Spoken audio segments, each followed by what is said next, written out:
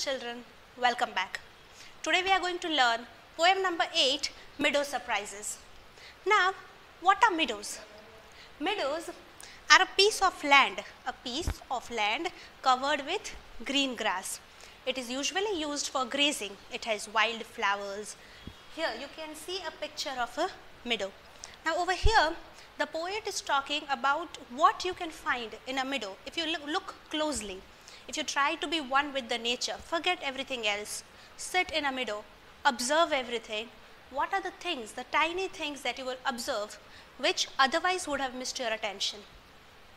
So over here, meadows have surprises. You can find them if you look. Walk softly through the velvet grass and listen by the brook. So the poet is saying that the meadows have a lot of surprises, but only if you look carefully.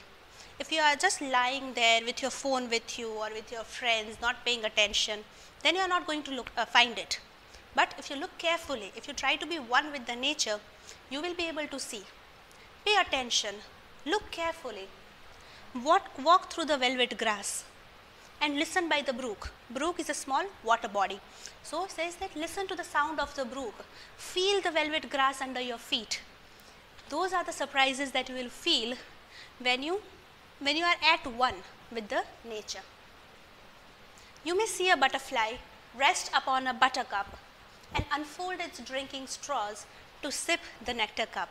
So if you look carefully, you will be able to see a butterfly which is sitting on a buttercup trying to suck the nectar out of the flower. But this you will see only when you are paying attention because usually when we go anywhere, even if you are in a, school park or playground, you are busy playing with your friends, running here and there, you never have time to sit and see that what are the insects or the birds in the grass around you. You have no time for all of that. But you will see all this only when you are paying close attention.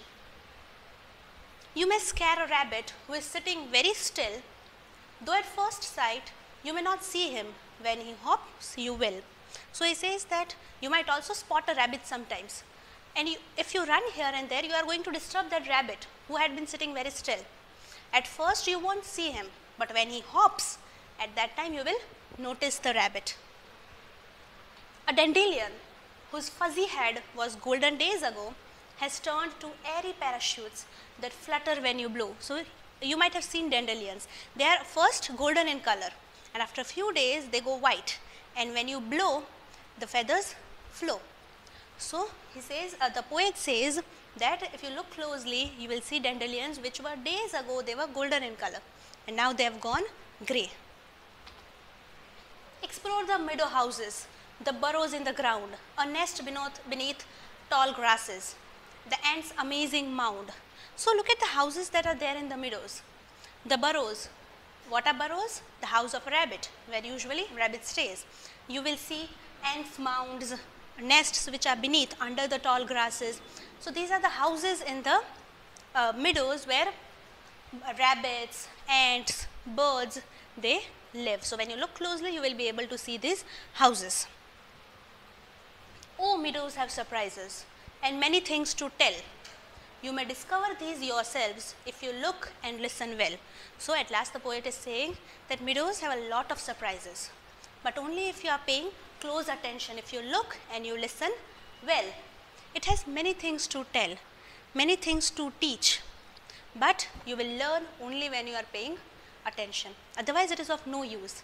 Many times children, especially in these days, we have forgotten to go out, to just sit with the nature, to feel the beauty of nature.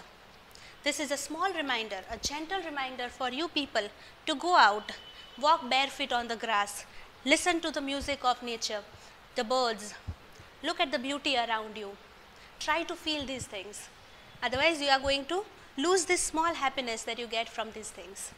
Right? I hope this will inspire you to get out of your house for a while and enjoy the nature.